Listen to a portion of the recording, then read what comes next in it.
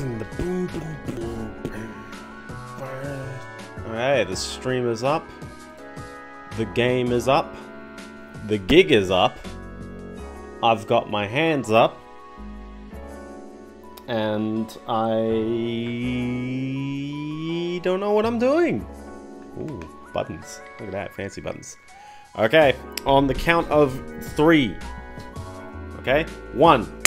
Ah, jeez. Hello everybody, welcome to the stream. Today is the 28th of March 2022. My name is Biendeo, and I hope you have enjoyed your past week, and you will enjoy the week coming up. Why? Because uh, I'm gonna play a bad game. It's, it's, uh, I don't know. I don't really know how to describe it, so why don't I just dive right into it? Um, so yeah, let's let's get into it. Wow. So um, oh, and some audio. You probably you probably want the audio as well while you're at it. So um, yeah. So let me give you a very very very brief story of this game. Um, I had owned a couple of games as a kid. I'm gonna I'm gonna say this story. I had owned five PS1 games as a kid, specifically. I'd owned a few more, but I picked five to go with me on a trip. Uh, my parents went to a trip. We went to somewhere in Queensland, I think. And at some point in time, our hotel room had been raided and various valuables were stolen. These this game was one of five games in that room along with the PlayStation 1 and this would have been uh, 2002 at least because this game is a late PS1 game. It did not come out until 2002 in uh, Australia regions. Also, don't Google A2M because I got ass to mouth as a as a, as a thing, and that's the last thing you want right before your game. Also, you're gonna enjoy watching this on YouTube. We'll see. We'll see what's going on there. Um, but yeah, no, they they raided the room, and of the various possessions they stole, they took um, the PlayStation um, and five discs. They were, were just in a CD case. Um, and uh, that was about it. Didn't really get much from the hotel security. Didn't didn't get anything. Uh, insurance happened, but anyway, uh, two of the games were Spyro One and Two. I managed to grab uh, some pre-owned eBay copies um, at the time. Uh, so now I have two cases of Spyro 1 and 2. I never did buy Spyro 3. Uh, but I guess I, I, might as well describe the the other two were Lego Racers and Vanishing Point, and this was number five in that list. Uh, by the way, note how this game starts off with a trailer, like a teaser trailer. Unless you can't see it on YouTube, but it actually starts off with a teaser trailer, including this coming to theaters November 2nd, 2001. This game, I'm not even joking, came out two days before that, or three days before that. And it, where's the logo? It's just that it's just this. Press start. You go in, and it, it's just titled Monsters Inc. in game. It's just Monsters Inc. Now, if you live in America, this game is referred to as Monsters Inc. Scream Team for the PS1. Uh, if you're not in America and you're in the PAL regions, it's Monsters Inc. Scare Island. I don't know why. There's two different names. I don't know, man. We can go into the options. Uh, since it's a game that came out in 2001, this game also has a PS2 version, but I'm going to be playing authentic because this game is a PS1 game through and throughout. It does not really look like a PS2 game, but we'll see. So basically, this game, that's my story. It's not much of a story, but it's a story. I'd like to show you how jank this cutscene is, as well as how wonderful our voice actors are. If we get through this, you and I could be the best screen-producing team Monstropolis has ever seen. I can't believe we were handpicked by Waternoose himself to train at the Monsters Incorporated private facility. I can't do this. I'm too nervous. And you building up the situation like this is not helping. Relax, Mikey. Remember what happened on our first day of college. Please, don't remind me. Yeah, okay, but I don't want to deal with another mess like that. It took them a whole semester to rebuild the dorm. Didn't I say not to remind me? Okay, you're right. It's no big deal. It's only one of the most respected companies in all of Monstropolis. No problem. It's not like we're on the verge of a scream shortage or anything. We'll be fine. It's a two-part cutscene. Oh, he, he. Well, I don't remember seeing. Uh, Oh no, we're not on the list. We are not on the list, Sully. How can this be? We filled out all the paperwork. Granted, it was extremely confusing, but come on. Oh boy, what am I gonna tell my mother?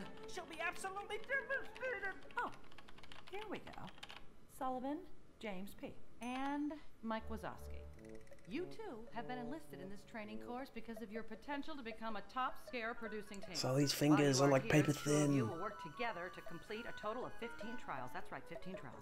If you can complete them all successfully, you will earn yourself a spot on the scare floor. Okay? Good. Please proceed through the elevator directly behind the help desk. Any questions, come see me. Welcome. I, I, don't know what's with the welcome, but sure. So uh, that's, by the way, that's it. That's your intro. And now you're presented with this. Obviously, how big Sully is relative to Mike, like, I think that's even more than it should be in the film, but uh, I'm going to go with Mike just to illustrate the hilarity. Both characters are exactly the same, there's no difference between them. Uh, this game it's basically a very, very simple collectathon. It's also one that's gonna Welcome to the monster orientation. irritate me. Here you will learn all you need to know to become a top scarer Mhm. at Monsters Incorporated. hmm We will begin with the basics. At least they scroll to the next bit of text, and they show you what's going on. And you can even like kind of dash past this tutorial text and even leave the tutorial if you really wanted to. Good luck. You'll need it. it just the animation stops. So okay, uh, it's a run and jump game. Also, I would like to highly note I've got my I've got the overlay back back from whatever last stream because I really wanted to highlight like as much as like you know it's a bit more obvious what I'm doing in this game. I want to show how delayed that jump is. Someone do the math on that one. Like if this game is running at 30 FPS, you can see how like oddly delayed like all the input is. It's very bizarre. Uh, we'll get into some of the other stuff. Maybe I should kind of zoom past because watching a tutorial is very, very. Uh, There was a platform that is too high. I don't know. It's it's, it's very straightforward. Uh, so pretty much that's a double jump in this game, which is actually kind of nice. Double jumps in platforms is really really nice. Which is why they're gonna tell you about the grab. Wow, you can grab ledges. Cool. Yeah, alright, so. Uh, what is this giant pole? I don't know exactly. I think you can hold this. Yeah, no, I really don't know what that is. It's actually just sticking out in this level, but sure. I thought they'd, like, have an untextured wall somewhere, but nah. Now for attacking. So, alright, so, uh, what other games are cool at the time? Well, Crash Bandicoot's cool. We've got cardboard boxes, or wooden boxes, and... uh, you roll when you're walking, but it's, uh, it's a spin attack otherwise. And in fact, it's actually, I think, pretty much the same for Sully. So, hooray, breaking boxes. Um, boxes can contain stuff, I guess. I'm trying to think as well. A triangle is that. What is a circle? Circle must be the um so the contextual button for later on. To help you So how do you heal, by the way? Chips. This is an extra They gotta tell you. They gotta tell you an extra life because uh, I, how would I know? Amazing. How would I know what an extra life is? It's actually it. I, I guess this is a, a general point. I'm just gonna like mention. What do you do? Oh my gosh. Jeez. Okay. So uh, metal crates, ground pound. You can do it after a double jump. Mike bounces. It just makes him so much better to play because I'm pretty sure Sully just flat like flatlines. he just dies. Um, so okay. this is primordial ooze. Now yeah, this is the um. Very important part of uh. Collecting it will increase the power of your fright meter. How do I explain it? more powerful. As you collect more primordial ooze, the level of your fright meter will increase. Collect all ten cans of primordial ooze and proceed to the next room. Yeah, that's pr that's pretty much all I can say. So, uh, yeah, it takes 10 blips of goop. Maybe it's more for the later levels. You made it. Um, for the later, like, just bits. But you basically gotta collect the ooze, and it raises your bar. And at some point, then you filled the bottom bit of the bar. Nerve. Our substitute And now, here they introduce the very bizarre part of the game. Part of your There's these robots. In order to graduate, you will So you have to scare the robot, and you can only scare the robot if the, your bar is of the color of his shirt. So you go up to him, and then you mash the button it shows, and then you hit X. That that is what happens. Amazing. I,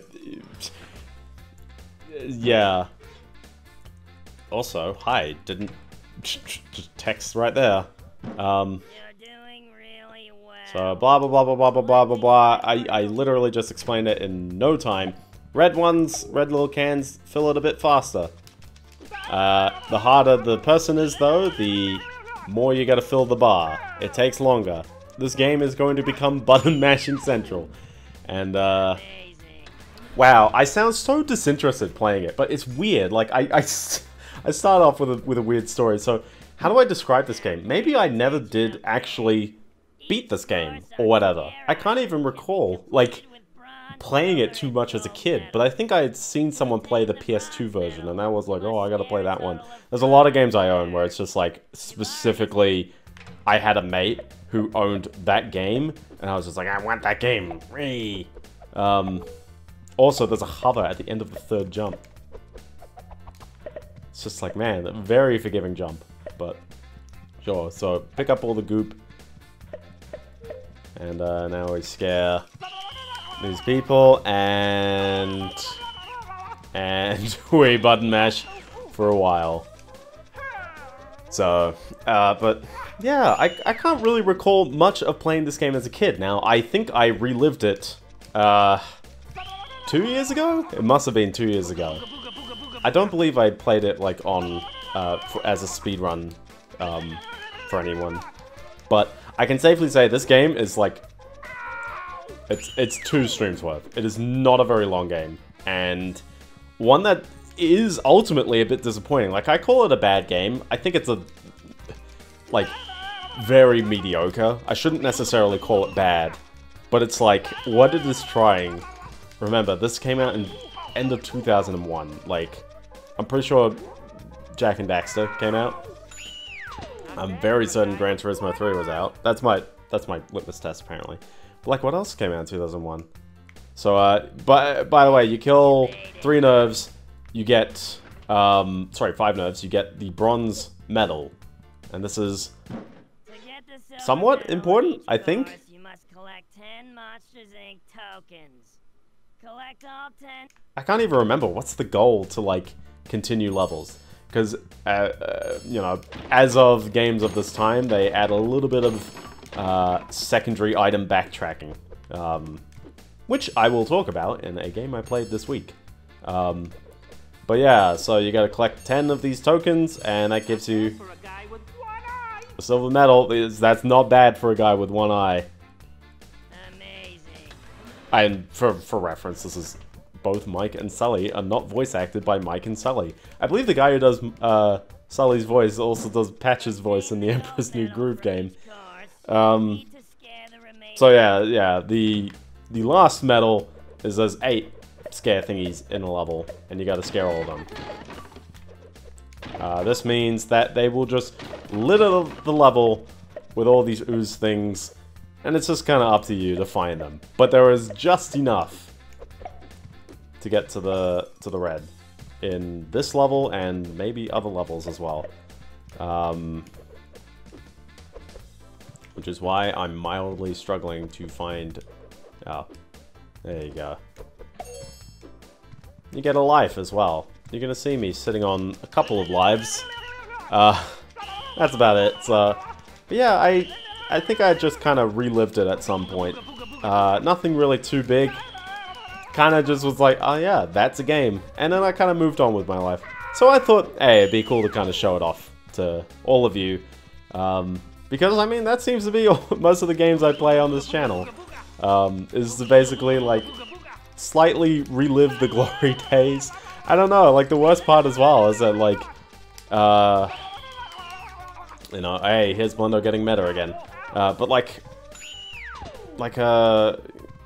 You know, I, I, feel very, like, a, a bizarre attachment to, like, Disney PS1 games because I had played Toy Story 2 and I'd played A Bug's Life. And then at some point when I was 12, I was like, I'm going to play them for YouTube. And then like a lot of views relatively to, to stuff now.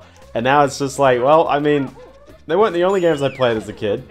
This was one that I obviously couldn't play as a kid. And thank you to the world of uh, game preservation. Congratulations, we're all really impressed. Uh, I did it. I did it. I can. You can not hear Roz in any of the other um, bits. By the way, yeah, forgot to tell you about the camera controls.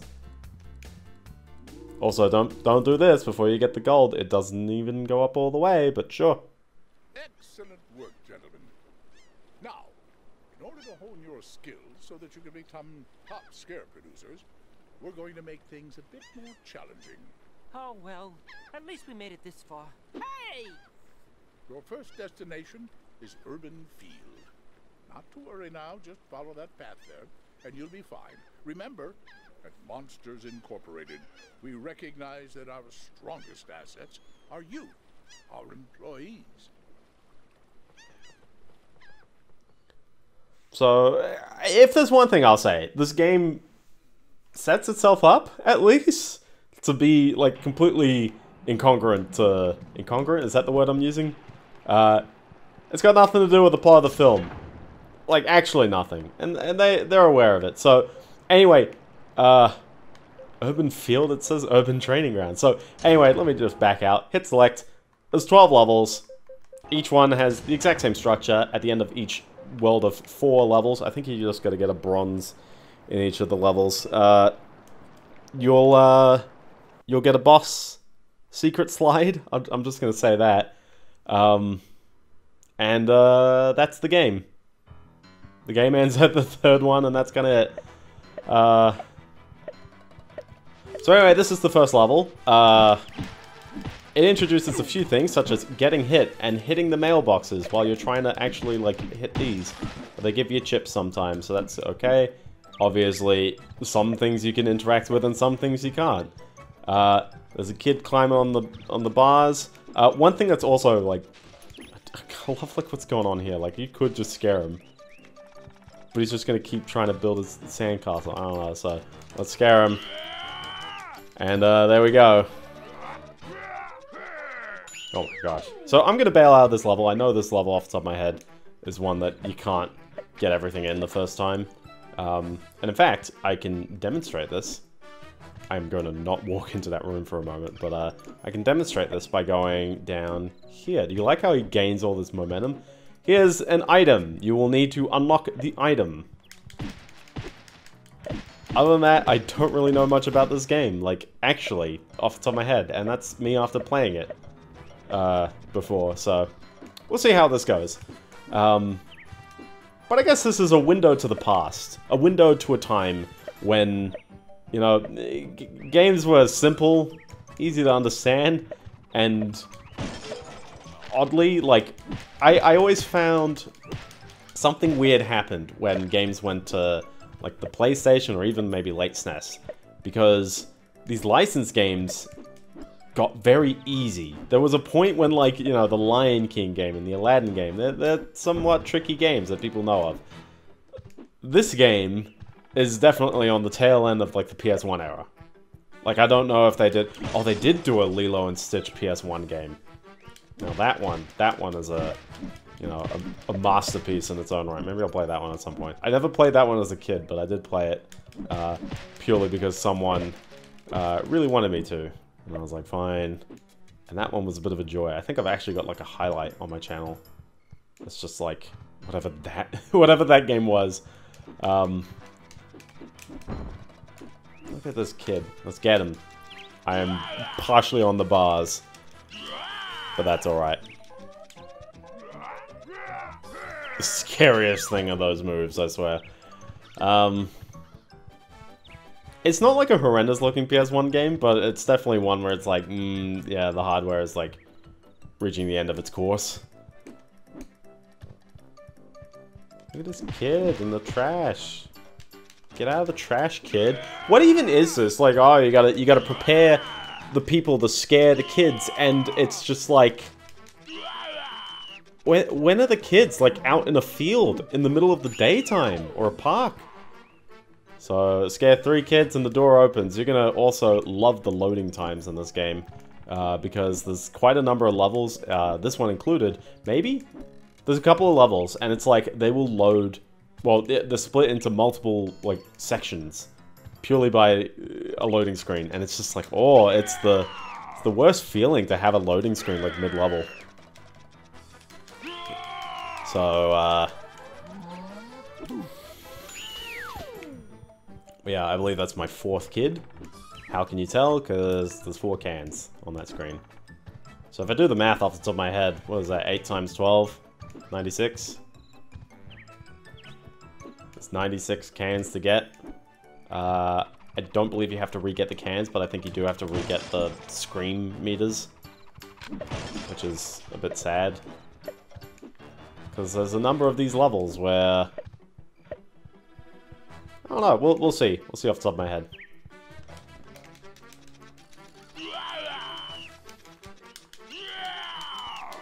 Also, you're gonna hear that ear piercing the entire time, aren't you? Yeah. Okay. So I got the bronze medal, hooray! And then it asks you to save the game, so I'm like, cool, okay. Do I have any save slots just lingering? Well, no. Flush them out. Along with my brain. My brain has turned to mush. It has turned to mush. You can save four save files in a, in a slot, which... Whoop. It just appears, and it pulls the door in, and the level exits. No, it doesn't exit. Oh, that was why I really hated this. Yeah, yeah, yeah. So one, okay, so like all licensed games at the time, it kicks in with actually parts of the film. The film was, I guess, yeah, it was ready by this point. But it's weird that it starts off with a trailer and not even like a an intro of some variety, but hey, this is the third Disney Pixar video game I've played on on the channel. What other ones were there? I think by this point, like, that's all the PS1 ones, isn't it? Because you had Toy Story, but that came out a little bit before. Now it's for the SNES.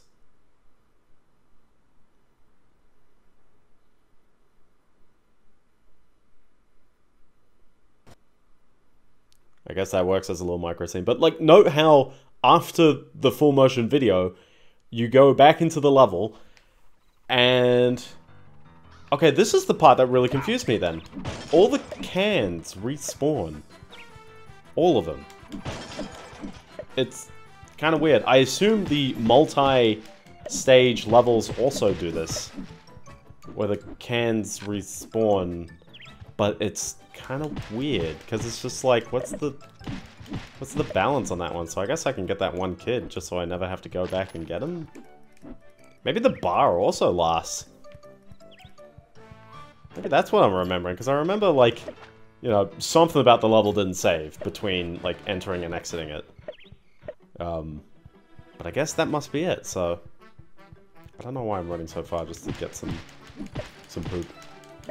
Primordial Ooze, is that what they said? Why Primordial Ooze? Did they mention that by, like, name in the film? Now, yeah... I like Monsters, Inc. as a film, but it's just like, I don't remember every single bit of it. All I remember is I'll kidnap a thousand children before I let this company die. I was actually, I was tempted to, to try and find a song about child kidnapping put it the, the stream title. Uh, but you'll be, you'll be pleased to know that's a very, very, very small camp. Uh, so I decided to go with songs about screaming, which is probably alright. Um, Whoa. He just went bold for a moment. Also, check this out. What is this? That's right, switches can open doors. There's nothing cross-level, by the way. you'll see that. You'll see the the um the LOD swapping kick in, and because I don't have the trampoline, I can't go up there. So we'll call that a level. And uh, I don't know. You could probably exit the level to the in the menu, but I'm going this away. What does it say down there? Two times that. I don't know what that is off the top of my head. So you just go in, and they're back to Scare Island. At least the loading time's not that long, but it's like it's a little long. Also, it's really weird how uh, I guess this game was interlaced. Oh yeah, this is weird as well. So you can't swim. You take a hit if you're in the water. Uh, there's a little bit of like scenic depth to everything.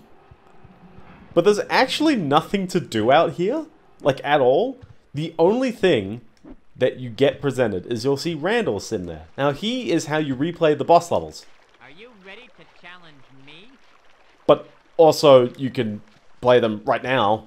You don't have to replay them, which is kind of weird. Also, I guess I just ran about. Here are the three worlds. Three worlds, four levels each.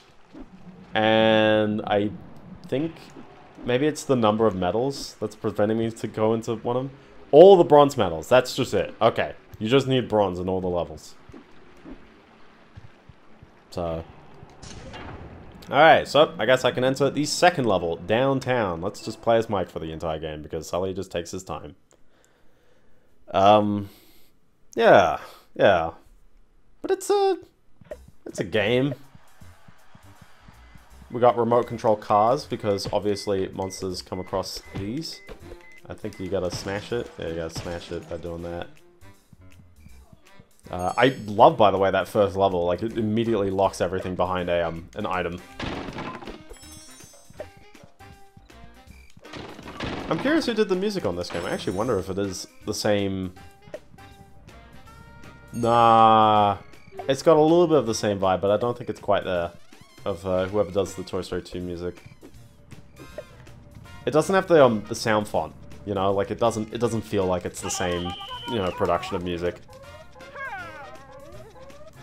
It's like how I found out that Richard Jacques did the um, music to the Guardians of the Galaxy game, and it's like, what? The man, the myth, the legend. He's back. He never left us to begin with, so...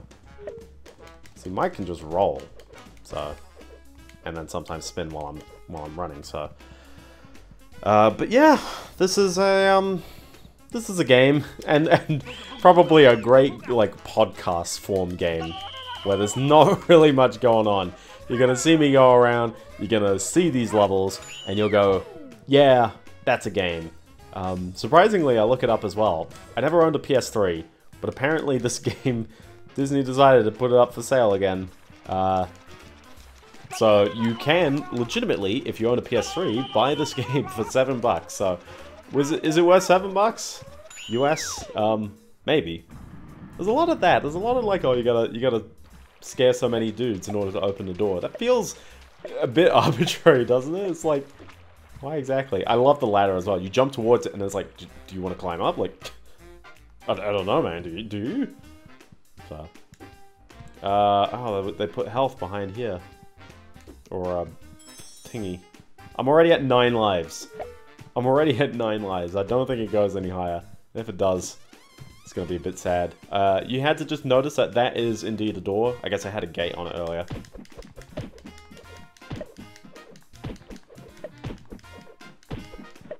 So I guess what my optimization I was thinking of, like, always having was uh, getting your um, your bronze medal in a convenient spot that would let you get, uh, you know, more of the, the ooze when it all respawns back in because, of course, it exits the level. That must have been what I was thinking, because I don't think it... I mean, yeah, it must... I mean, it must save your, your bar. I mean, it's on the screen. And it must save that... Do you like how... Do you like how it resets the position before the screen goes away? Hold on, you can see that, right? Yeah, it totally does. What a well-programmed game. Oh well. Too bad Astermouth is still with us, apparently. Um, I don't know if any of the developers are still there. That is not their name, by the way. It's like Artificial Mind um, something. That's like what their acronym stands for, but it's Yeah, I, I don't know, man. You look at the, the game library and it's like, man, they they crammed out all the licensed games. And this was, like, their fourth one. It was a very early company at the time of making this, so who knows? I wonder really what, like, what, uh, what, what's the process in licensing a game like this? Like, like, is it the developers, you know, make a, a game and then the uh, the publishers are like, yeah, like we'll pitch this, or is it just the, the publishers, Disney in this case, just go, hey, cheapest bidder, who wants to make a a, a game, and this is what turns up. Uh, I mean, I guess it, it went through some process. I'm just gonna not even save, man. I'm keeping these videos in. I don't care that Disney's gonna sue the heck out of me. Except I do.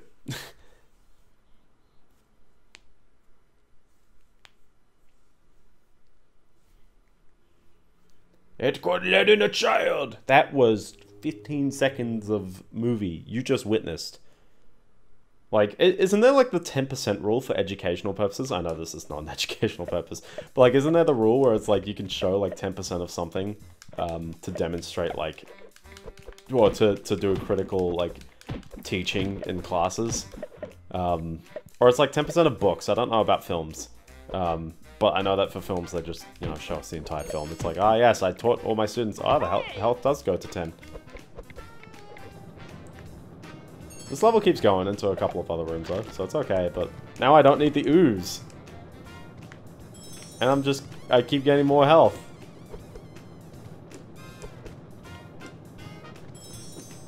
It's at least something. Like, this game, like, as much as I'll sound like I'm ripping into it,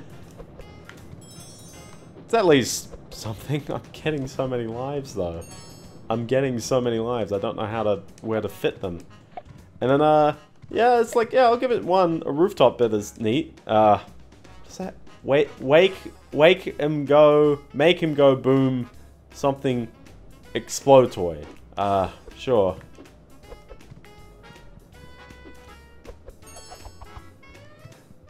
I think if you fall off, you just take like one damage as well, but I don't know where exactly you end up. We'll figure that out maybe later, because there's some more precarious jumping in some of the later levels. Uh, but yeah, I believe there are so many lives. What is going on here? Maybe whoever did the retro achievement set should like extend this with like dumb stuff like get 99 lives. Because it doesn't look like it takes that long to get it. Also, joy. Joy. They put one just up there. Oh, you, you, you thought it was going to keep going over there? No, man, that's for decoration. That's for decoration. Just platforms. You know, platformer things. Just not very happy about that one.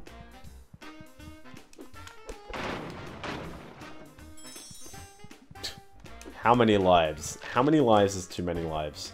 I, I feel like given the fact that I've been hit like four times, it's probably one.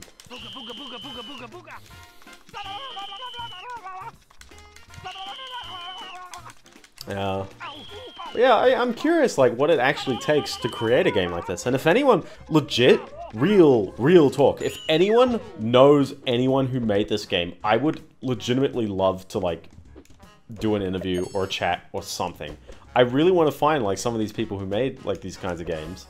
Because, uh, so, someone's going to say, like, for a nostalgic purpose, but it's, like, legitimately, like, it'd be kind of neat to, you know, to really, like, dive into what making a game in the late 2000s, or well, not late 2000s, in the early 2000s was like. Um, it just feels like a, a, a relic, like a time long gone, you know, because licensed video games, they don't really happen anymore, or they ended up, you know, turning into the mobile, you know, kind of game stuff. Whereas, like, for, for a fair bit of time, this was, like, this is a game. It feels a bit cheaper, yeah, but it's a game. It totally is a game. And there's nothing to really like get too upset about that. So, back in, by the way. Like, I, love that you gotta go back in. I'm just playing as Mike the entire time. Stuff it. Mike is the cooler character anyways. I mean, who wanted to be Sully? Like, really? Sully has, like... I can do a psychoanalysis. I was gonna say he's got he's got mummy issues, but nah, that's not it. That's not it at all. They don't really like the parents get mentioned in the in the film, I think, but I don't know. They're two working class people living with each other.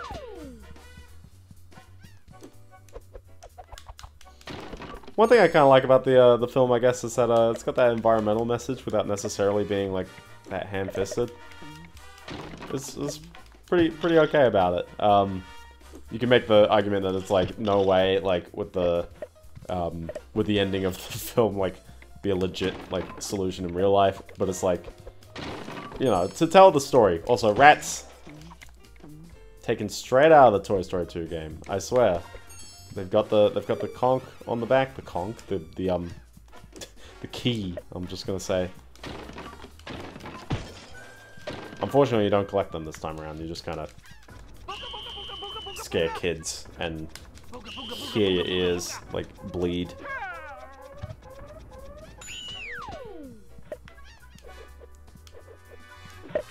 Uh, it has a bit of fixed camera angling on you, but that's okay. I don't really have much to say about these levels as well, because it's like, what do they have to do with Monsters, Inc.? It kind of, like, it doesn't quite go to the motions, because it's like, well, I mean, you saw the three worlds. We had, uh, City World, Ice World, and, and Desert World. And, uh, we'll see how far I get. Um, it, it's gonna be a two-stream affair, but yeah.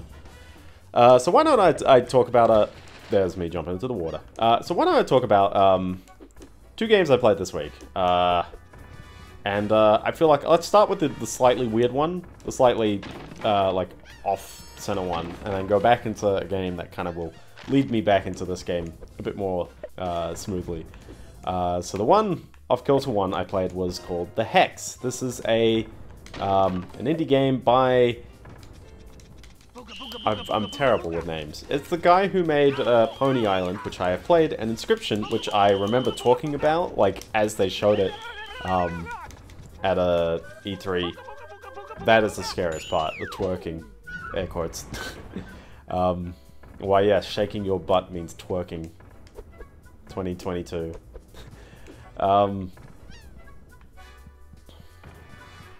we got crushies. We got crushies.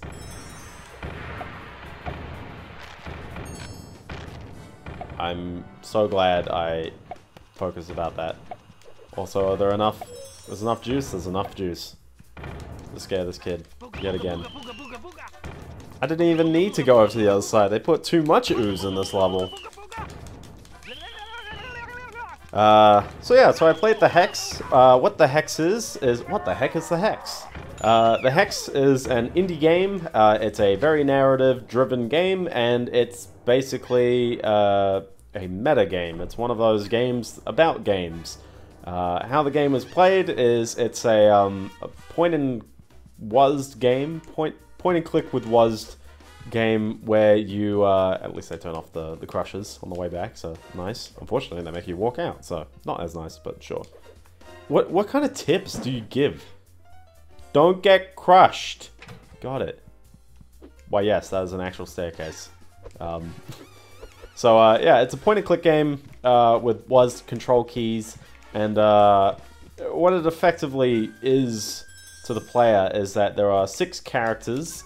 Uh, each one has their own, like, backstory of some kind, and uh, it is your goal as a player to basically play them, uh, and then there's an overarching story where there will be a murder. And uh, what will happen, uh, probably I will explain in a handful of minutes because I'm to give it away. Uh, but, um, so here comes the portal again. Or the door, it's just the door. This, this scene is still going, I'm just interrupting it with a bit of gameplay.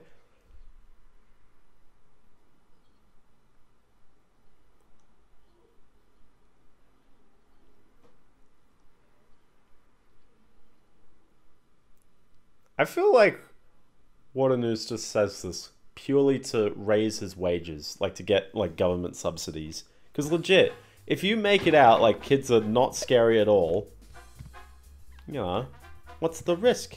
Anyone can do it. But if you make it so that only a few elite people, you know, like the trained Apple Genius Bar people, it's like, ah, yes, not everyone has the has the gusto to fix an Apple product. You know, like that kind of stuff exists. Like, I mean, like an Apple product is just a computer like any other one, but well, yes, we we, we make the parts proprietary, so technically, uh, you're not licensed to do it. So that's a fun dispute, but that's for another time. I love the lighthouse blocking and blinding me. Ah. Has something gone wrong, like if the lighthouse is constantly, like, rotating like that? Or is, is that just a regular thing that it does when it's sunset? I don't know if you should do that sunset, so... Oh well. Kid's dead. And, uh... Well, yes, they left one token up there. I wonder as well, like... Because there's one more kid in this level. I'm gonna call them kids. Oh, the single jump is just so awful looking, isn't it? I can't believe it. I'm only like 41 minutes into the stream as well. Oh, it's, it's up another bounce pad. Nope. Who knows? Eh, returns to level later. You don't you don't need the bronze medals, and I know I gotta come back anyway, so... Sorry, you only need the bronze medals. Uh, so yeah, so the Hex is that kind of game. Uh, but What's so interesting about that kind of stuff? Well, what the game is, is it's basically a meta-analysis of uh, various kinds of video game genres, as well as also providing some overarching story, uh, which is some meta about game dev, because there's a lot of there are a lot of indie games about game dev. Um, I think I might I might have mentioned the last one I did play was the Beginner's Guide, which was a game where you played as well, rather a guy effectively what what was it really? He liked making maps, and then uh no, sorry, he was exploring the mind of someone who liked making maps for Counter Strike. Um, or he started making maps for Counter Strike, and then uh, I don't know, he got very like artsy about it and uh, basically you had this narrator who had self-involved himself in the story in some way, and then that was it. That that was the game. It was a it was a game purely about like this kind of narrative, only to then pretty much just be a lie. Like it's all fictional, and that's okay. But then it was like, well, what did I learn as a player? Uh, the answer was not really much. I kind of wandered around for an hour and a half, and then sure, I, I found out that whoever this narrator guy was was an absolute jerk. So, fortunately, this one it's not that bad. It's it's eh, how do I how do I say it? And someone's gonna like be very upset that I don't like uh, this game as much as they do. Uh, I'll I'll preface. I'm a very like I'm a bit too critical of just like these indie games that are strictly around narrative. Um, so how about let me just describe the game from like the beginning. So you you start in this bar, uh, or is it an inn? Can't recall which one it was exactly. Um, and uh, there are six characters. You start playing as a guy called... Uh, what was it? It was Super something. It's not Sonic the Hedgehog. It was a different animal, but we'll just we'll go with I'm going with Sonic the Hedgehog because he's basically a 2D platformer, and he he's like oh he's told go get a key, and he tries to get the key and he falls down and then enters a coma for five seconds. But in that five seconds he relives his glory days where he was in a platformer which was uh, really basic. It was effectively Super Mario Brothers. It had Goombas. It had spike traps. Um, I did not touch the spike traps, and a friend tells me apparently if you touch the spikes, you just respawn before, and there's a, ske a skeleton on the spike trap, so you can jump across without experiencing the same uh, death twice. I'm like, okay, neat. Um, that's okay. I also found a secret cat who basically spoiled the plot to me. Just immediately, like, okay. I found her three times, because there were three levels. In each of the levels, uh, it came up with some fake Steam reviews. The game decided to take some profiles off my Steam account, as well as a bunch of people who aren't on my Steam, sorry, aren't my Steam friends, and, uh, pretend that they gave this game positive reviews. The only reviews were positive reviews for this game. Then there was a sequel where a guy was like, yo, you gotta make your game tubular, radical, so he wears sunglasses and uh, punches enemies, and then uh, the reviews are sometimes negative, and every time there's a negative review, the game was like, oh, this is bad, this is really bad. And then uh, there was a third game, which was... I can't even recall. But the point is, is it kept getting bad. And then eventually... Uh, oh, wait, no, it was broken. It was unfinished. That was the point of it. It was like, oh, this is unfinished. Ooh. And then, uh... Something, something, something, he wakes up. I really can't recall. And then the second chapter begins. You play as, uh...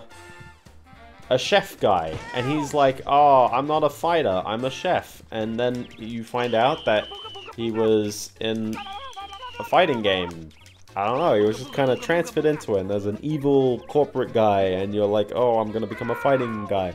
And so now you play a fighting game. It was a little bit weird to play on the WASD keys and the mouse, but effectively you aim with your mouse and you punch high, medium, or low, and then you do that kind of stuff. It's pretty basic, but it's got like dodging, it's like, oh, okay, or, or blocking and some other no special moves, it's just kind of punch high, medium, low, but sure, okay. You do that a bit. Uh, there's a bit of some neat presentation where it does like a training montage bit without being too jarring, so I thought that was kind of neat. Uh, and then at some point, it goes into a bit of a story mode near the end where you reuse the exact same mechanics to do a cooking game, except then at the end, uh, the evil guy comes up and he's like, I'm going to stand close to your grandma, and then you punch your grandma and the scene ends. So I'm like, okay. So this guy Oh, oh also, uh, this guy hates smelly Smash players. He, he's not a big fan of fighting game players. Um, because it was like, oh, like, the, the way out was to make the character OP. I don't know why, but sure. Uh, and then, uh, people, I hate these enemies as well. Boing. I don't even know what's going on in this level, I swear. I'm pretty sure you just hit all three, right? Like, you, you just do that, and they're all, like, in, in a row. Might as well get these before I...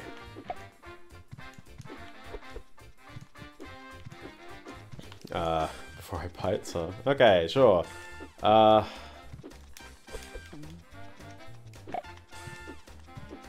Maybe it opens up with a specific pattern. Ooh, are you gonna just spoil the pattern for me? Just find the combination. Okay, okay. I'll find it. Legit.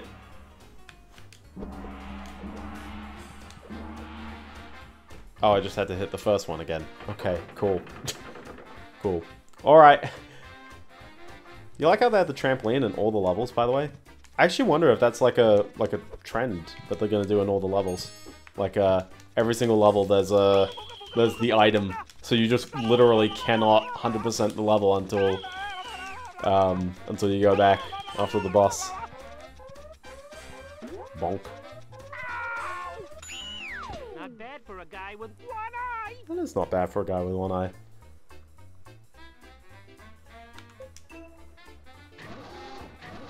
So I think uh, my goal of this stream is let's do the first two worlds. And then, uh... This, this scene is still going, by the way. And there's only 12 levels, so you know that as they've probably just chosen three scenes and broken it up into all these individual bits.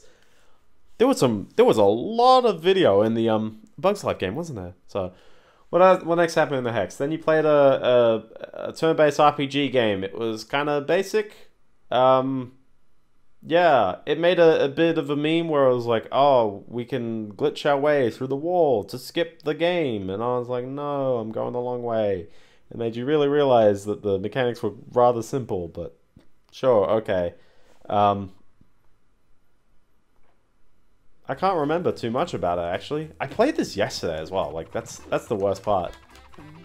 Is that whatever I played was very recent and it's kind of escaped my memory. So uh, okay, so then chapter four happens. You are now playing a um, I'm not going to say XCOM-like game. It's just a, a uh, grid strategy game. I think Fire Emblem's probably the best example. It's like different characters have health, they move around, except you only play with two guys, and they've got the same kind of moves, and then the game is like, here's a cheat engine. Oh, oh, the reason why the RPG was bad was because the villain won in the end, because you made him win. I don't know. And, and then it was like, oh, people hated the game. Oh. Um, Something like that. So anyways, the strategy game, you have a cheat engine, uh, and then there's mods, and the mods make the game weird. Like that, it, canonically, the mods in the game, I. Um, it does like a trippy thing where the main character gets infected with a mod, and then uh, he dreams up a bunch of stuff, and he never truly leaves. The side character he had his whole time was uh, just disappears because he's basically killed or something like that. I don't know. Okay. Oh, oh, oh, oh. Also, at the end of uh, the RPG bit, you have a side character, and the side character is like, as punishment, uh, he will be sent to um, to Galactic Force 2 or something. And then the other one's just like, you're never appearing in a game again, so something like that. Alright, Chapter 5, you play a Space Marine. Space Marine is in a Hotline Miami game, basically. I'm just to say it's like that. Um, had some neat bits, like you had to wield a sniper rifle, and then you, like, effectively mouse zoom over to where you wanted to aim to. Um, that was that. Oh, we got another video. This is from the beginning of the, the film, I believe. Oh my gosh.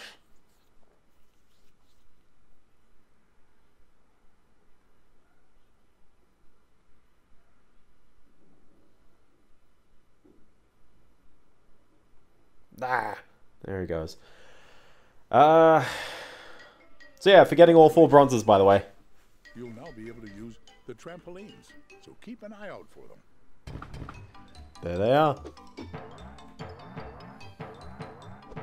Bouncy, bouncy. Good luck. Cool. All trampolines, by the way. So wherever there is a trampoline, yeah. You get immediately thrust into a boss battle, which is a secret slide. You must collect 75 of the coins and finish the race before Randall to win. P press up to go fast. Um,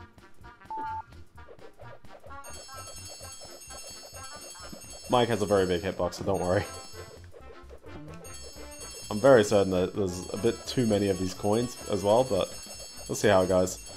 Where is this in the world? I'm really not too sure. It kind of reminds me of that rooftop bit, but it's also like, it's a, a secret slide? I don't even know. And uh, you gotta run. You could take the trampoline, but I'm not. Because I'm just that rebellious, apparently. Uh, so yeah, the Space Marine bit. And then uh, what happens is that the Space Marine guy, uh, the the weird lawyer who sent him to weird place, and also sent the fighting game guy to the fighting game. Uh, he's basically like there in the inn in the bar, and the Space Marine guy just shoots him, and then the bartender is like, "Did you like the ending?" And I said yes, and then the game quit out. So I like to think that that is how the game actually ends. Now, obviously, there's a bit more. That, oh my gosh. I hope you saw that as well. I swear, I hit X. Someone can judge me on that one. I did. I didn't see it. I didn't. It felt. I felt it. I don't know. maybe I. Maybe I. the X button was hit as hard as uh, Chris Rock was. Ooh, topical. Ooh. that happened literally today. That was good fun. I got no thoughts on that, man. I just see it, I'm like, I, you know, this is a wild scenario. All I know is that they were both in back-to-back -back DreamWorks films. So, you know, if you got bad beef, like, you know, I can understand. Uh... So yeah, so obviously if you reply, no, I hated the ending, then the game goes, okay, cool, because there's actually a little more. There was a sixth character. The sixth character, this is where it all ties together. So the sixth character is an invisible guy, but he's actually, uh, well, not invisible. He, they make a joke that he looks like a the un, the locked character on the character select screen in fighting games. Not bad for a guy with one eye. Okay, see you. Um, but really what he is is that he's a pair of hands and legs uh, because he's in a first-person game. It's not even a shooter. It's a walking sim.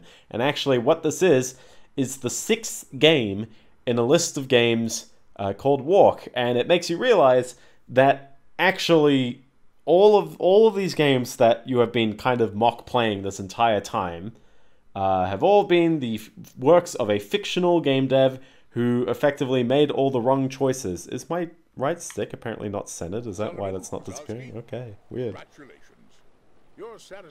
I gotta adjust the dead zone on that because that ain't disappearing and that's gonna be kind of weird. There it goes. Grounds lying just beyond this gate. Good luck. And remember, you can always return to the courses in the urban training ground to improve your completion level. And there he goes. Mike is at an oar. Maybe I'll play a Sully just to just to show off. Maybe. It's me touching my stick. It moves ever so slightly. Okay, so another four levels. They all start with the. I know, right? It's great. Oh my gosh, Mike, you're not allowed to touch there. You are not allowed to touch there. You can tell this level is pretty fancy. And actually, the, these desert levels get a little larger. I, I will say that, like, they do properly start small and get a bit larger from there. By the way, do you love how the uh, the oozes from a distance are actually like two sprites crossing over each other, like trees are in a lot of like older games? Uh, I want to, so like if if you're looking from overhead, you can really tell. It's it's not the easiest to tell like from this angle, but I swear, like that is some like weird LED swapping. So I've got the uh, I've got the trampolines now. So but you saw some of it in action. Um, so yeah, so you play a walking sim for a bit, and the walking sim ends up in effectively what I remember as Pony Island's gameplay, where you drag nodes around, and uh, in this case you've also got to do a little mini game where you solve the nodes. So it actually ends up being a puzzle game section, uh, contextualized as a walking sim, and actually exactly like the uh, beginner's guide I mentioned earlier, where there's um, what is going on? What is actually going on? It's I have no idea why it's lagging the heck out because I've raised the priority on this one. Maybe my computer is actually dying. I wouldn't be surprised. I, I, I was I was smack talking Windows 11 earlier, and it's come to bite me. I don't even use Windows 11 as well. Oh well. Uh, what is that? It looks cute. You can just kick it, and then I assume you gotta ground pound it. Yeah. Everything's a robot, because of course it is. What does fighting any of this have to do with any of this? like, re really? There you go. You can get cancelled out of a out of a scream. So I guess it's that. Oh my gosh, there he goes. Uh, but yeah, yeah, it basically ended with that, and then uh, pretty much I said it was like the beginner's guide because literally it's the supposed narrator of all the games that you played narrating how much of a failure he is uh, it basically explaining that the bugs were created because he had coworker who was not good at programming apparently. Uh, there are some weird plot holes I feel like uh, in this and I'm kind of like what? So the character you play in the third game the RPG came out of the fighting game. She also wanted to get out of the fighting game. Uh, in this section, they describe it. I love how this slope is so strong that jumping over pushes you back. Cool. Um, in the in the in the walking sim bit, they describe it as like, oh, this is the the character that this one person who introduced the bugs. This is the one character that they really enjoyed, uh, and so they were like, fine, you get to be in the in the RPG. Um, but uh, they didn't really make it clear, like, because in the in the in the game chapter earlier, she was like trying to be too OP so that she could leave, and then she ended up in another game, and I I wasn't really quite sure why that was the case. It just kind of happened. Um, so I'm like, okay. Also, I guess the other guy got moved into another game, and his name never really got mentioned as well. It it kind of just happens. So I'm like, okay. Uh, ultimately, by the end of the game... Can I spoil the game? I guess I can just spoil the game. Ultimately, by the end of the game, also, you can tell where this is going. Yep. So, alas, there is more of the level that is yet to be seen, but...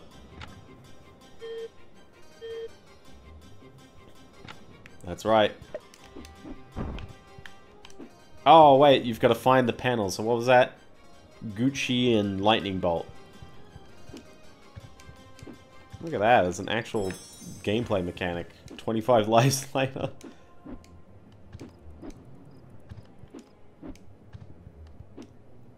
At least they kind of line up with where they were though. So they're nice enough there. Gucci. Wow, that's some that's some uh foreshortening right there. And a lightning bolt. That must have been up here, I think. Uh, that was a pro gamer move right there. Um, so yeah, ultimately by the end, uh, it does like a whole weird thing. I'm really not too sure even what happened at the end. You're doing like a puzzle.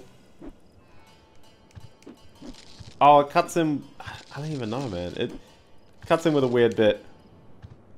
Where I was doing like a barkeeping mini game, like like an unseen game that the guy supposedly made, and then uh, it's basically oh like there was a seventh character or something. The kid just got spat out of his mouth. Um, and then uh, ultimately by the end, uh, yeah, you seal away I don't know. You you you commit to the hex and you seal away the developer by having someone reach through his monitor and choking him. Sun Scarab Wave. Uh, that's the end of the game. It's probably got more more to it, but it kind of. My biggest issue is that I'm I'm a very uh, I'm a very like mechanics kind of guy. I played this game and I'm like, well, yeah, the mechanics, like, they're there. I can see its influences, but none of them are really that fleshed out, and a lot of them like really want you to get going. So like the the uh, the the strategy game one, it's like oh, and it introduces cheats, and I know that the cheats are part of the design, but I ended up doing the same cheat method of move, infinite range, infinite damage. Like you you just hop from one onto the other. They they've got the gameplay mechanic of I've got to hit the sun, don't I? Is this the sun? Oh, the wave. Sorry, the wave. Spit out another kid at me. The nice thing is that I guess I don't have to do this again, so. Uh, but yeah, it it, it, it was a toughie for me. Uh, because yeah, none of these bits were really that, um, I guess, that engaging for me. I kind of played through because it kind of played itself. Fire, Gucci, Star, Balls. Fire, Gucci, Star, Balls. So that's, that's, that's not Star as well, that's Star Moon. Fire, Gucci, Star Moon, Balls. Fire, Gucci, Star Moon, Balls. Fire, Gucci, Star Moon, Balls. Fire, Gucci, Star Moon, Balls. Nope. Nope. Well, there's the Gucci, so we'll go with that. Fire, Gucci, Star Moon, Balls. I guess the order is important, so fire first. At least it's nice enough and it prompts you of it again. Uh, cool, cool. There you go. There's lightning about. Uh, this looks like fire. Okay. Back to the Gucci. Uh, yeah. At the very least, hey, it's a it's a fair bit of stuff. Oh, I got soft locked a couple of times. That didn't help me. Like I literally got to a point, and then the uh, like the, there's a bit where when you're the fourth guy, and there's like the hologram people, and uh, like guiding you the way, and what you have to do is like block like multiple of the holograms with objects and then use your mouse for the last one. Uh, there was one point where it decided to not, like, it, one of the vases got stuck. And, uh, this was the first one as well. So one of the vases got stuck and I couldn't continue on because it wasn't, uh, activating the lock. Or it wasn't, it wasn't blocking the lock. Um, so it ended up, uh, not continuing. And because that was the first usage of that mechanic, I ended up not knowing, like, really whether it had gone wrong or whether I was missing something, and I wandered around for a fair bit of time before it just kind of didn't, like how it's cut out, um, before it really, before I was just like, ah, I'll just quit, come back, and then, what'd you know? It suddenly started working, and I was like, oh, okay. Um, and then the worst part, when I said like, oh, mechanics that get underused, literally the next screen is the last of the puzzles. Yeah, that's my right stick being slightly off-centered. Weird. It legitimately is off-center. Weird. Oh, that's gonna be fun. Someone's gonna get irritated my right stick constantly showing up. Oh well. Uh, Mike, stop touching there. Okay. Uh, music's alright. Presentation's alright.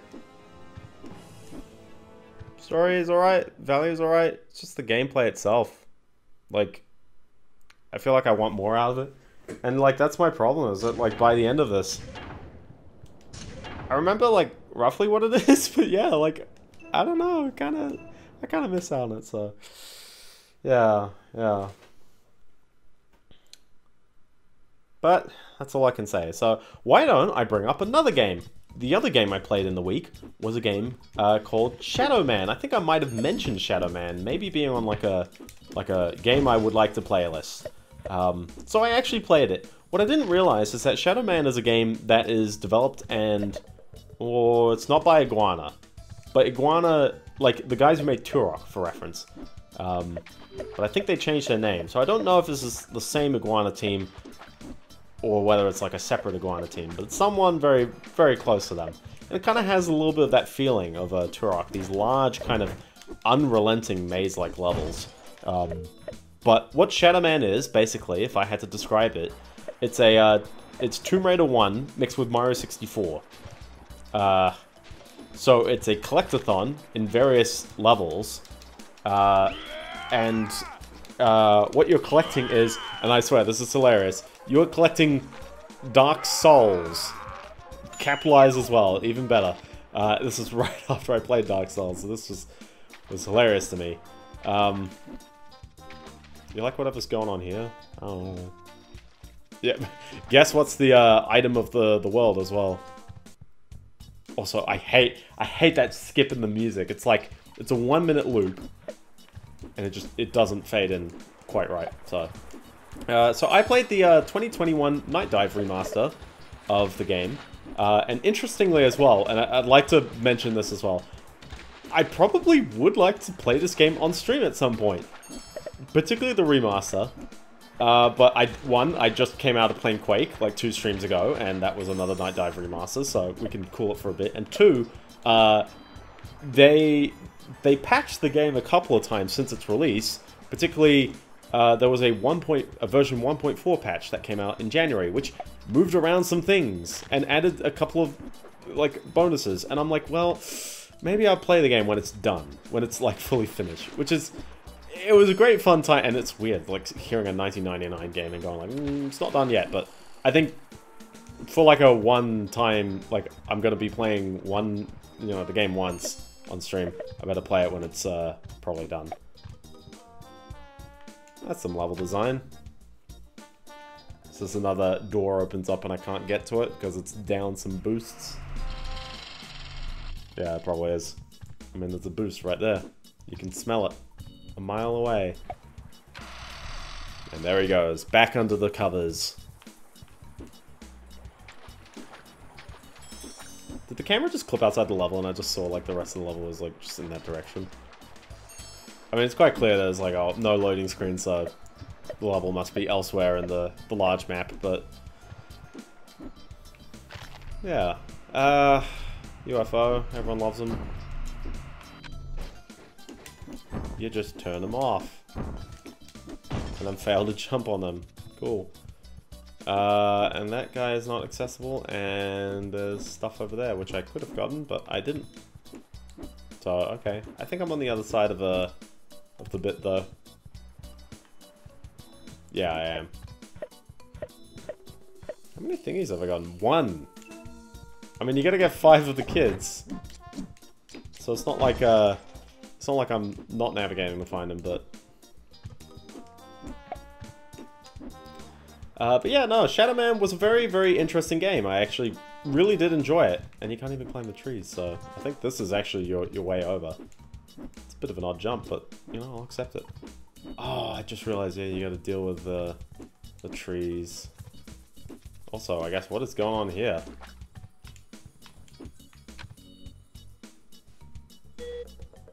This is another Simon Says. This one's a bit easier, I guess. Out comes a kid. There he goes.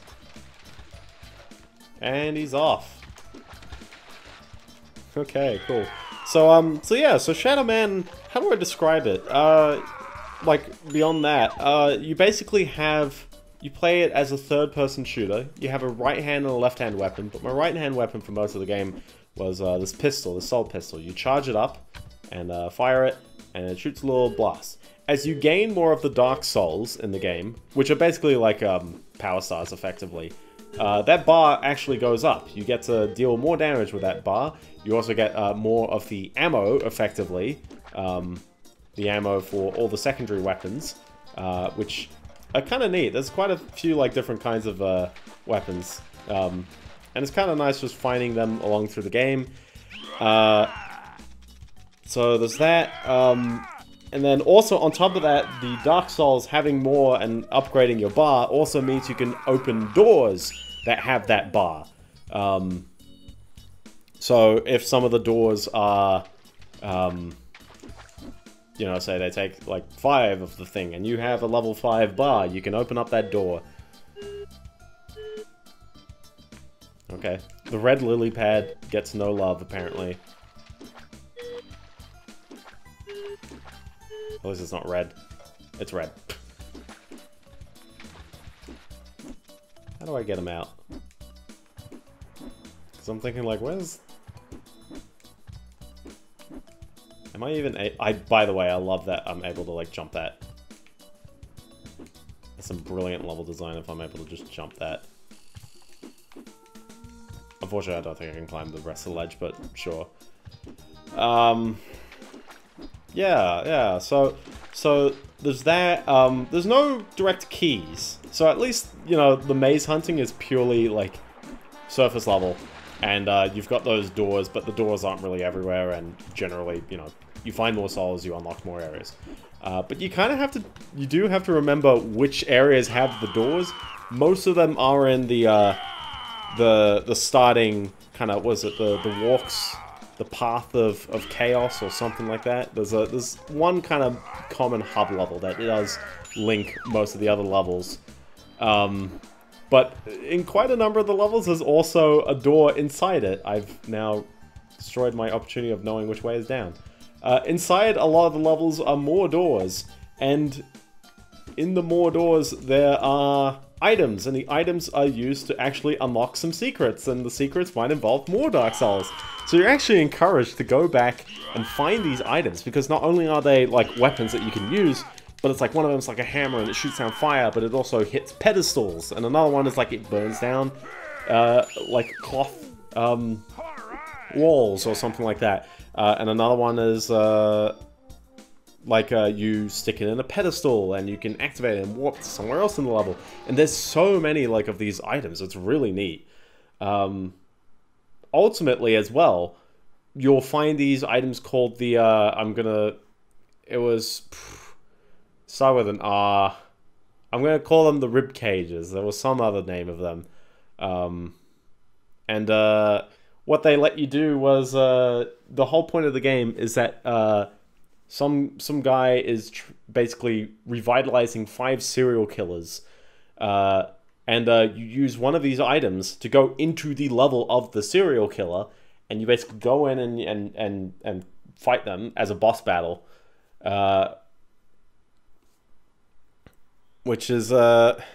Yeah, it, it's kind of neat as well because like it's a bit weird because all that kind of happens near the end of the game because you've also got to collect some items to become the Shadow Man in the real world, which is what you're doing there.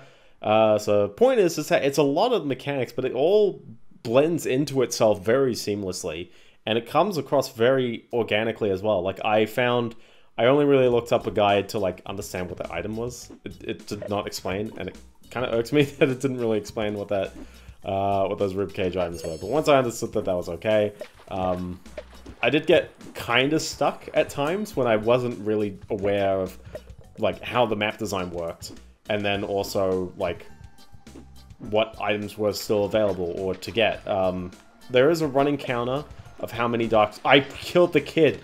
I killed the kid! Alright, the, the, the child will come back to me. I got him. Easy.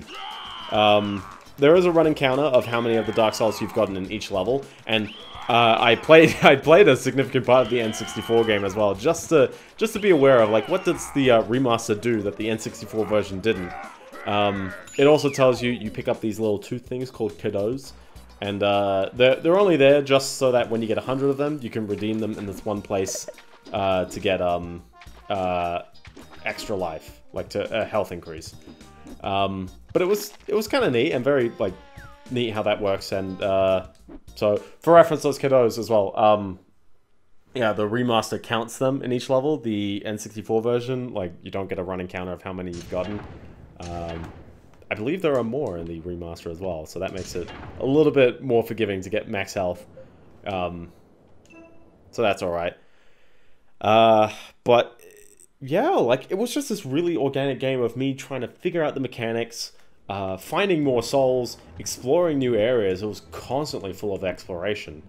Um, and it was a real blast to play. I really did enjoy it. I, I even went and I was like, yo, I'm gonna play it again. I'm gonna get that one achievement for, uh, you know, for, for, uh, beating the entire game without dying, which kind of involved quick save scumming. Um, on, on the N64, you don't get to quick save, but I'm also like, well, when you die, you go back to basically the warp point of the level, but the levels aren't that massive. Like, there's not too much platforming in the way. And also, none of the enemies respawn until you leave the level and come back. So, uh, it's actually a bit forgiving in that regard. Um, so it's actually not too bad to play on the original console. So, look at that, I actually died for once because fighting the enemies is really jank. And then I got another life, so it didn't... Okay, I, I was like, why did it not show me my lives for a moment? But, okay. This is a weird level as well. A number of these, these levels get a bit weird. We gotta have a puzzle level at least. Like that's that's the the gist. Look at this kid just sitting there. It's weird having to find five of these guys because you've effectively got to navigate most of the level. Um, you know, because because there's always the item of the level, just hiding one of the one of the the kids. So very bizarre, but uh, yeah. So I I feel like Shadow Man is actually a rather understated um, like collectathon game of its time. What it definitely is, it's a little bit dated. It's got um, oh okay okay we're, we're ignoring him. We're ignoring him. Oh, but I can't ignore him, can I? Or can I? If I go quick, he won't get me. All good. All good. Um, but yeah, it's it's it's a real nice collectathon. Uh, I guess the enemies were a little uninspired. I guess there was that. Like, I mean, th there's definitely enemies, but I found it was uh. Oh boy, this is slow. um, I kind of didn't like how you'd hit the enemies with the pistol and then like they'd have to um, be hit like one last time. But oh yeah, you can eat them. Maybe I should be eating them instead. Um,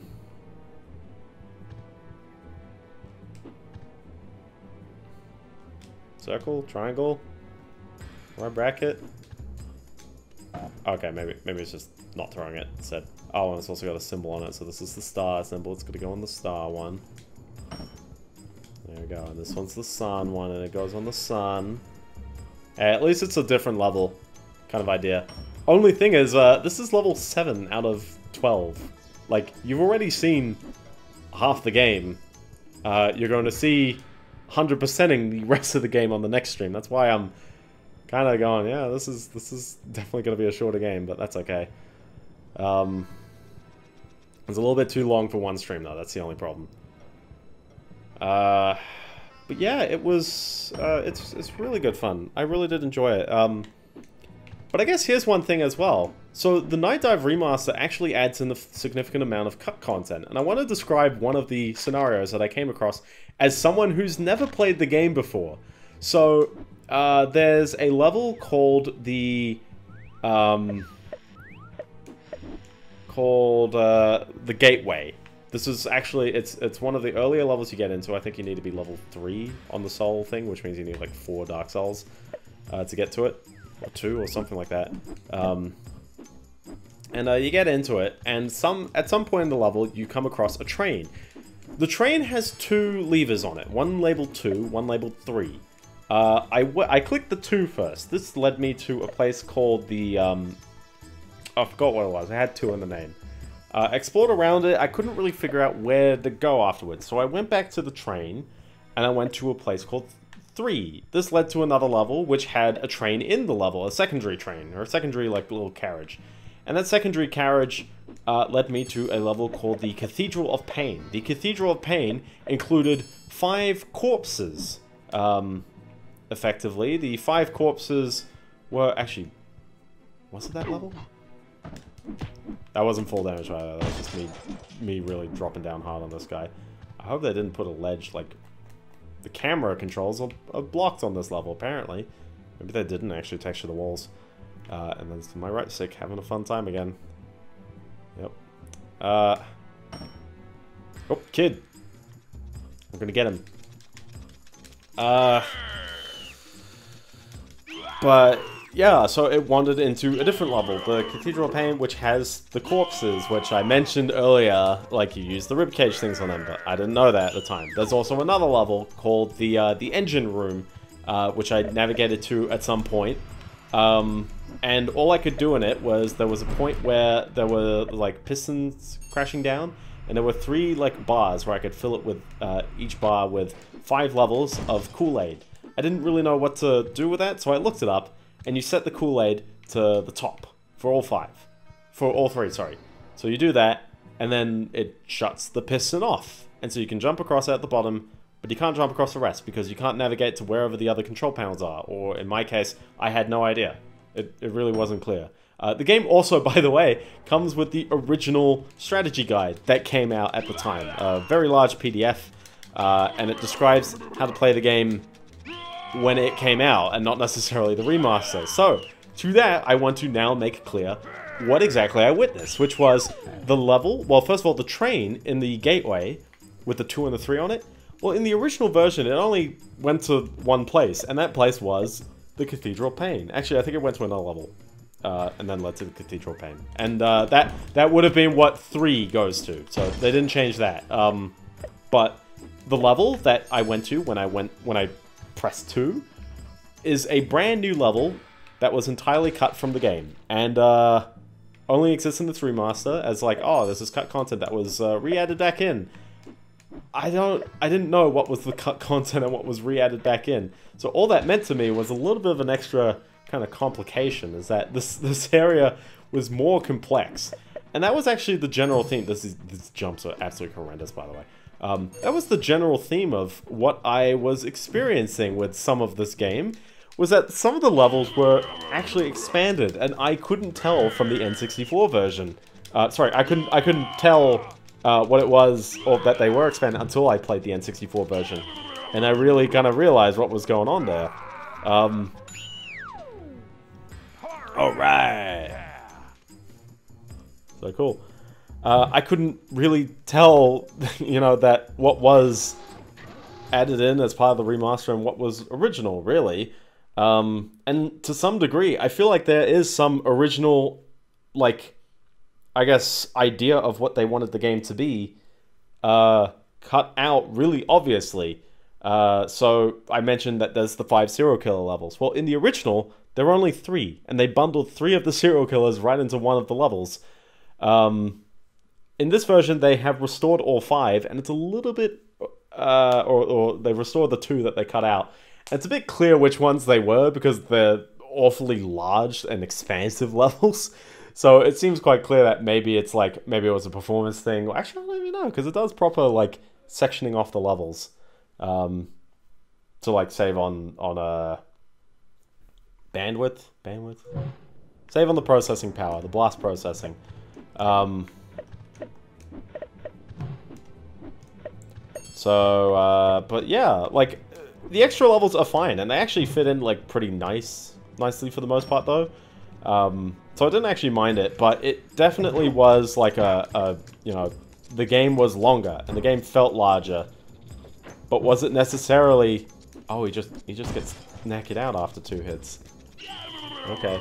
Um, yeah, did it make it a better experience on a first-time playthrough? And I guess this is an interesting thing, I guess. With a remaster, when a remaster changes the game in a decently significant way, and in this case, like, the, I love how I jumped, I landed on something. Um, or didn't lose health as well. I had two hits before, and I now have two hits. So, okay. And that was purely for a kid, so I'm pretty sure the last two are just somewhere. Listen, none of these levels are, like, really that long. There's a bit going on with this level. You had a little bit of puzzling, but... I mean, it's two screens. You can see it all in, in, in one go, so... There's that there, and... I don't know, we'll continue on from there. But yeah, it was a bit weird. I will say, one thing I absolutely loved about this game, one, I, it's another one of the Samuel Villarreal magical games. He does he does wonderful stuff, uh, and and granted, he's not even the only one um, working on those. Uh, but I will say, I absolutely love that they got the original composer to one finish up his other tracks that might have been you know left out, like baited, uh, but also really remaster the other tracks and re like you know edit not re-edit? I'm gonna say just remaster as, on like an audio term. So they're all in FLAC quality. They're all like 700 and, or 800 kilobits per second. Um, and uh, one thing i was really amazed about is a lot of the levels didn't have repeating music as in like they had their own original music track ideas um, and uh bonus points, some of the music tracks went on for like 10 to 15 minutes. Oh, I forgot this level. Okay, so what this level is, is you go in the door and you end up in whatever like side of the pyramid you were facing on the on the the base there, which means I'm going to encounter like some red dudes when I haven't wandered through that point in the level, uh, but that's fine. It's kind of simple level to understand though, otherwise. But it does mean that you kind of have to keep going back out and just kind of remembering some stuff. So I've started with the snake. You can tell it's just... He's gone. He's out of there. You do take the hit. Cool. Glad to note. Been scratching my nose like all stream. This is very weird. Um,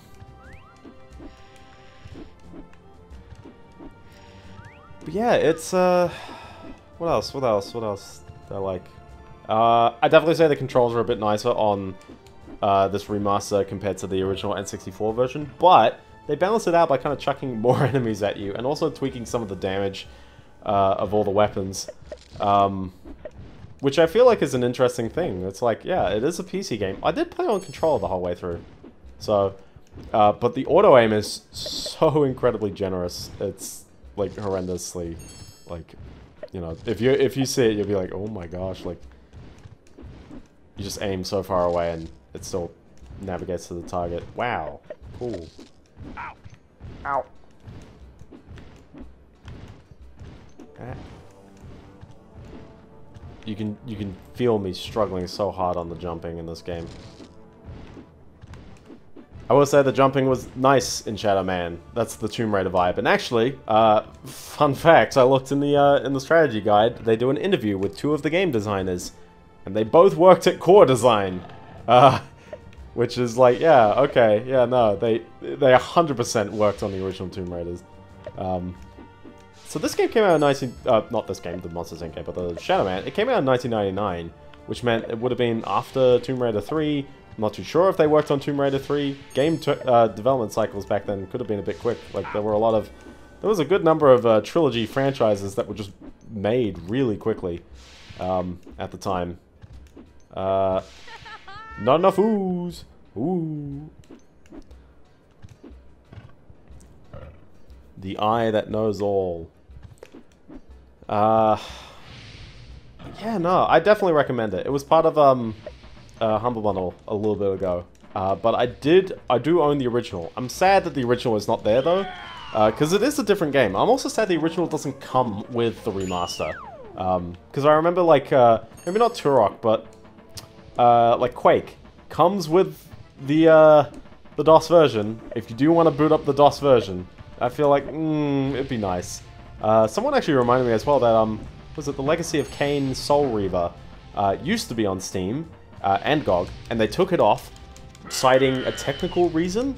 This was a year ago that the game was taken off sale. Um, and it's only that game. The other ones in the franchise are all still there. Um, but just that one, which is weird because I downloaded it, booted it up, it ran fine, the Steam version. Uh, so is that even enough of the of the juice? Like you obviously can't get that. Like, am I just gonna rely on on the respawning juice? Okay. Uh, but yeah, no. Otherwise, I was really happy about it. It was a long game as well. I I spent like 15, 16 hours on a first playthrough. Like it was a real. Uh, that was granted to get everything. Like after, although I realized that I actually like had acquired most of the stuff. Is there a dude just lying on there? Nope, that is not a dude. Alright, back in the fray. So that was a red dude down there, wasn't it? So, alas. There were two red dudes in this level. Maybe more.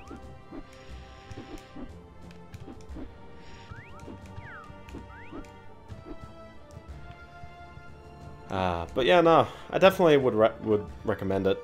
Um, and actually, as well, on top of that, like, I'd recommend playing it and experiencing it and kind of going a bit blind. Um, like, I, I might have explained a few things, but one thing I really liked in the game was how, like, labyrinthian the levels were. But, like, right when you were doing your last rounds of collecting, did it all start making sense? Which is a very bizarre feeling. Like, it's one I don't get too much. Where, like, you know, a game is on that border of being complex. It's not complex enough that you can't discover things, except for this one, um, and this is this I blame this one in the remaster. In the um, scrapyard uh, remaster level, uh, there is a fake wall. That is the intended way to continue the level. There are no other fake walls in the entire game. Um, and uh, you just have to know that there was a blood trail leading that way, and that it would be a fake wall. That was a that was a toughie. It didn't. It, that one was like a bit uncalled for, and it's in the remaster as well. It's not even in the original version. So this is, there actually are a number of things that the remaster does that just yeah they do confuse me. Um, but yeah, no. Otherwise, very good. So would recommend. Ten out of ten. Not ten out of ten, but it's it's definitely like an eight out of ten. Um, maybe not eight out of ten. As well. I don't know because the game was received like pretty alright at the time. The soundtrack is great though. The soundtrack has held up in in like full FLAC quality. It's great. Actually, another thing I'll just say I'm surprised about how faithful the game feels on the N64. Like, um, I would always imagine. I think the game got a Dreamcast release, and that is like the definitive console release. Uh, but the PC version is also like, well, it's the PC version.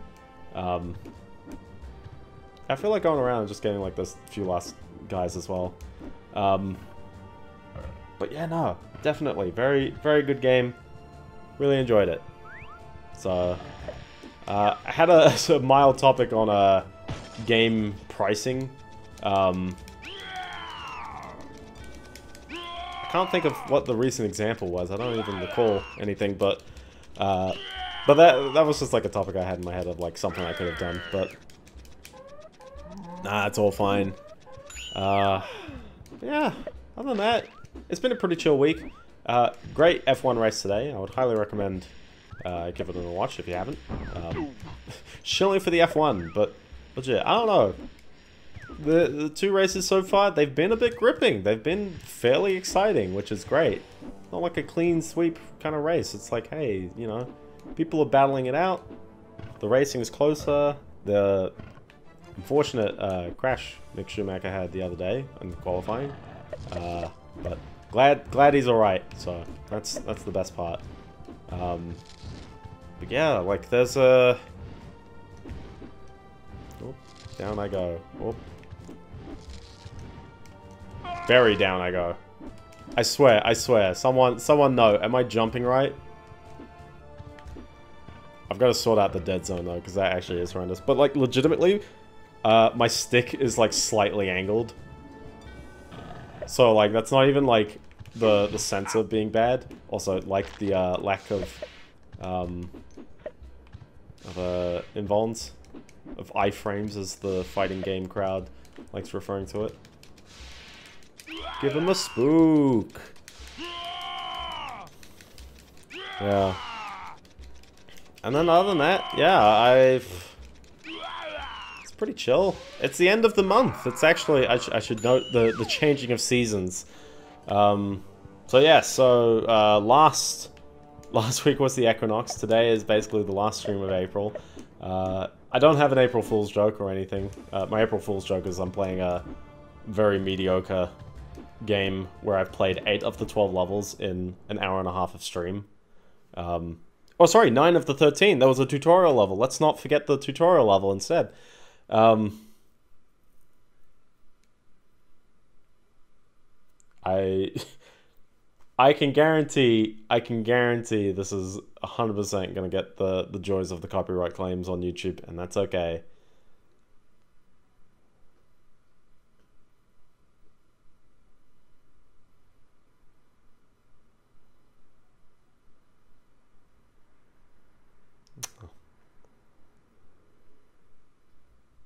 Ich. Yeah, no, you're not allowed to sneeze at people anymore. It's criminal. boys. You've earned the right Something irks me that this M isn't even in the center of frame. It's like a little bit off. Boost pads. Everyone loves boost pads. Dun, dun, dun, dun. I will say, if they did one thing alright, they did these in-engine cutscenes. Pretty okay. The only issue is there's so few of them. Um, so, you must collect a hundred of the things before Randall gets to the end. Love the waterfalls being outside the LOD distance. And they're still, they're still there. There they go, they rendered the rest of it. I think the last one is a little stingy on how many uh, things there are. I just bumped him out of the way. He's got no idea where he's going. Or he's probably going for a bounce pad on the other side or something. I don't know where he's gone. Maybe I did just, like, unpath him. Great game. Isn't it kind of weird? Like, a number of these games have slide levels. It's kind of strange. I don't know, just like, just these uh, collectathon style games. Did Shadow Man have a slide stage? Almost. Not quite, but... Did the Hex have a slide stage? No. No, it didn't. Alas, it missed out on the 3D platformer craze. I'm not really too sure what his actual, like, uh, goal with that game actually even was, as well. Maybe it's just a comment on a fighting game players being too needy? I don't know. Like, they generally... Uh, wow, that's a real judgmental statement, but, like, there's a... You know what I mean? It's like, there's a lot of, like, that pro-tier fighting game crowd, where it's just like, man, you know, there's a changing meta, and it's kind of like, do the devs just keep responding, or do they just let it, like, sit off? Uh, actually, that was a fun conversation I think I saw on, like, what counts a game as dead? Because, like, a lot of people use the player count straight up as, like, a number, saying, this game has, like, 90% of its player count gone after the first week, it's dead.